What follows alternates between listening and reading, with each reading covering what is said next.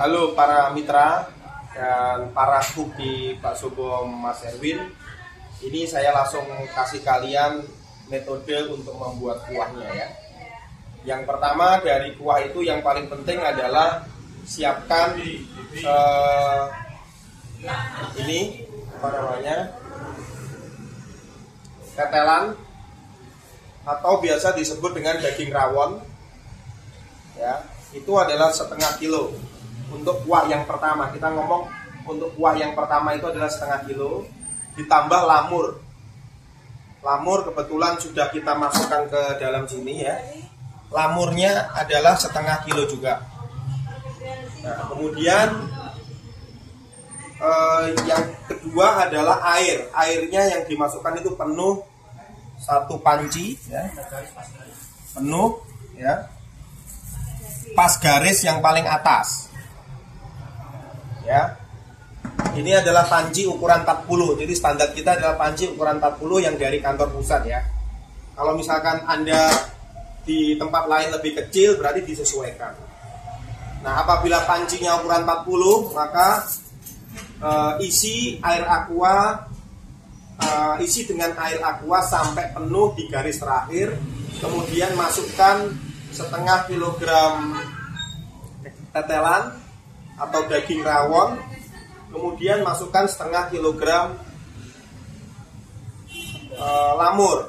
Kalau kalau daging rawon tidak ada sebenarnya adalah kita lebih utama adalah pakai iga. Cuma kadang iganya ini adalah mahal atau kadang juga tidak ada di pasar. Nah, kalau misalkan ada iganya lebih baik anda menggunakan iga seberat setengah kilo kira-kira ada 5 5 iga yang dipotong 5 cm dan iga ini sekaligus juga merupakan standar kita untuk bakso iga kita. Kita potong 5 cm seperti ini kemudian satu porsinya itu mendapat dua buah e, iga masing-masing 5 cm jadi totalnya adalah 10 cm iga. Oke setelah itu untuk kuah yang pertama yang kita perlukan adalah empat empat bumbu yang dari kantor pusat ya empat bumbu inti kita. Kita masukkan ke dalam kuah ya kita masukkan ke dalam apa namanya air yang sudah mendidih tadi untuk merebus daging iga dan juga lamur. Daging iga atau tetelan ditambah lamur Berapa lama ngerebusnya? Ngerebusnya adalah selama satu jam. Kemudian ditambahkan adalah tumisan bawang putih.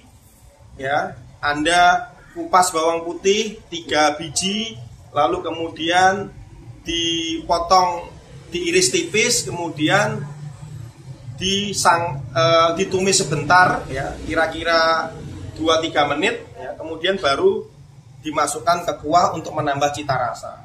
Kemudian bisa juga ditambahkan dengan bawang goreng secukupnya. Hanya seperti itu saja.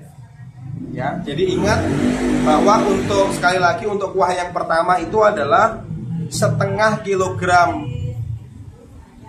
rusuk atau iga atau setengah kilogram daging daging rawon atau tetelan ya ditambah dengan setengah kilogram lamur kemudian apabila kuahnya tidak habis untuk esok harinya Anda e, bisa menyimpannya, menyimpan kuahnya dengan cara melakukan pendinginan terlebih dahulu, dibuka e, dandangnya sampai dingin, ya, baru kemudian setelah tidak dingin, baru ditutup lalu disimpan untuk esok hari. Besoknya tinggal dipanasin lagi, kemudian ditambahkan air ya ditambahkan air lagi sampai penuh kemudian tambahkan bumbu kira-kira satu atau dua ya anda rasakan rasanya sudah enak atau belum kalau belum tambahkan lagi satu lagi kemudian anda rasakan juga perlu nggak ditambah iga lagi atau ditambah tetelan lagi ya. Kalau rasanya kurang sapinya berarti anda harus tambah tetelan lagi atau tambah iganya lagi seperti itu Anda lakukan sepanjang waktu berulang-ulang ya selama Anda bekerja di bakso Pong sebagai cook.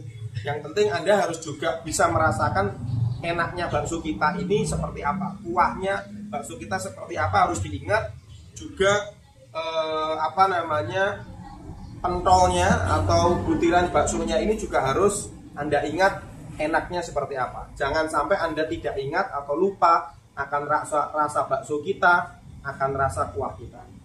Itu dari saya.